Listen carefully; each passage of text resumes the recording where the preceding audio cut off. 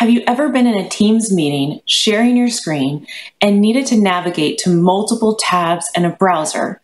Ugh, but the little shared screen icon gets in your way and you're having to negotiate with your browser tabs to be able to select the right one and get that shared screen menu bar out of your way. Well, guess what? Microsoft has now enhanced the shared menu experience. Now, when you navigate, when you're sharing your screen, that menu bar navigate to the far left side.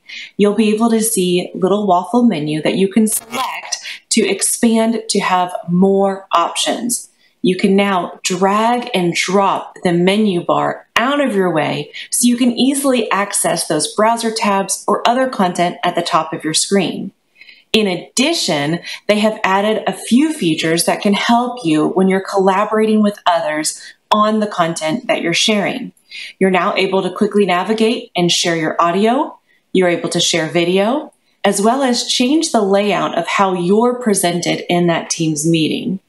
And a new fun feature, you're able to annotate, which means you and your coworkers can adjust the screen, can highlight, can navigate to different changes that you might want to make by using a highlighter or a cursor to circle and write on any of the content that you're sharing.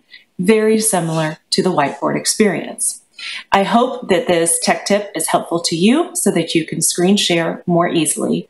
Subscribe for more tips.